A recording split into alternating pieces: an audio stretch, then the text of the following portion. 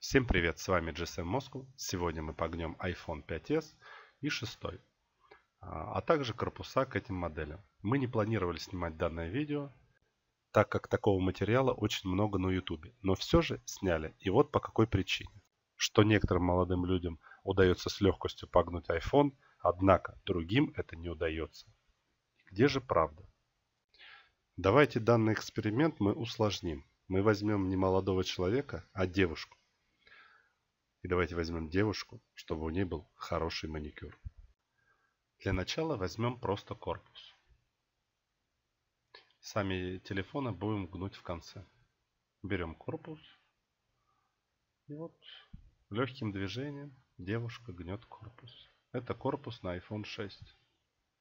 Вот так вот он легко гнется. Дальше. Берем еще один корпус на iPhone 6. Может быть у нас все-таки первый раз это была удача. Также гнем. Тоже с легкостью гнется. Легко погнулся. Берем корпус на iPhone 6 Plus. Вот вы можете видеть, что он ровный. Гнем. На 6 Plus корпус чуть-чуть посильнее. Но тоже погнулся. Небольшие усилия приложили. Теперь же возьмем корпус на iPhone 5s и попробуем погнуть корпус от 5s. Корпус 5s не гнется, его очень тяжело погнуть. Ну, может быть чуть-чуть погнулся. Теперь возьмем телефон iPhone 5s и попробуем его погнуть.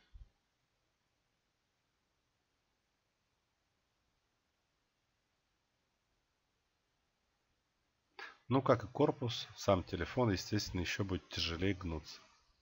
То есть он не гнется. То есть погнуть довольно-таки сложно. Теперь же возьмем iPhone 6 и попробуем его погнуть. Все же вы учтите, что это телефон гнет девушка. Если вы на iPhone свой сядете, то, естественно, он сильно погнется. Или, допустим, уроните. Они очень сильно гнутся. Вот вы можете посмотреть. То есть девушка немного приложила усилий, и телефон уже гнутый. Вот еще немного усилий. Вот еще больше загнулся сам телефон. То есть телефон погнулся. В аппарате могут произойти, соответственно, в связи с этим поломки. Теперь мы разберем данный аппарат, чтобы убедиться, что в аппарате э, стоят все комплектующие. А не просто, допустим, он пустой с пустым корпусом разбираем.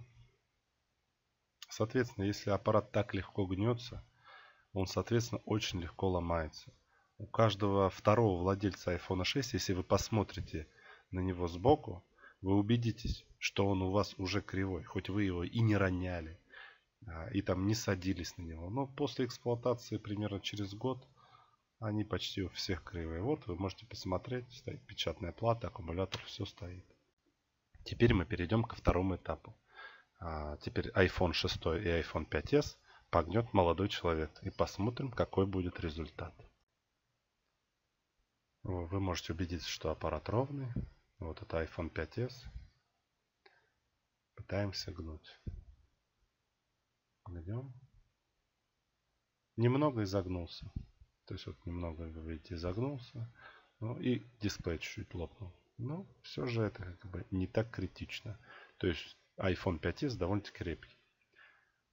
iPhone 6, видите, можете посмотреть, он ровный. Теперь попробуем его погнуть. Вот он уже идет намного легче, гнется. То есть намного легче загнулся. И критическое изгибание печатной платы, аккумулятора, всех деталей. То есть iPhone 6 погнулся очень-очень сильно. Теперь мы его тоже разберем, чтобы убедиться, что в аппарате стоят все детали. Как вы убедились на данном видео, даже девушка с маникюром с легкостью может погнуть iPhone 6 серии. Причем вся шестая серия легко гнется. И совет один. При эксплуатации данного аппарата будьте аккуратны. Открываем аппарат.